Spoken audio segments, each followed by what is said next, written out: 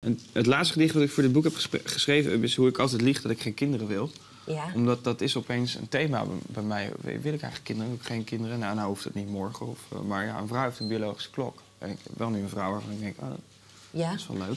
Dus je vriendin, die, die, dat, ja. daar tikt die klok. Nou, de- eh, fysiek natuurlijk. En zij zegt, nou, ik hoef echt nu geen kind. Maar het is opeens een thema weer, weet je wel. Ja. Als je vrijgezel bent, is dat er niet. Kinderen, ja, dat is Ja. echt zo. En, en eh, ik wil eigenlijk ook niet per se, maar toch denk ik er wel eens aan. Dus toen schreef ik hoe, hoe ik altijd lieg dat ik geen kinderen wil. Oké. Wil je hem horen? Ja, graag. Oké. En dan moet je haar erbij bij picturen. Dat is Lise. Deze Ja. foto. Eh, daar zit ze, hem aan te staren. Spreekt opeens van leven baren. Mijn lichaam wil een kindje. Wil jij dat ook? Wat vind je?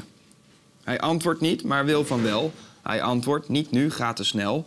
Wil je dat ik dan vader ben? Ze knikt, verlangt een stuk van hem. Hij wil dat ook, een stuk van haar, maar zwijgt erover en gebaart. Kom eens hier, hij fluistert wat. Ze buigt voorover, luistert wat. Haar wangen door een traan gedoopt. Je durft niet, zegt ze, ik ontken. Hoe zij voorgoed bij mij wegloopt, hoe ik weer bij mezelf wegren. Ja, dus je zit nog in die ontkenningsfase. Zo voelt het soms wel. Ja.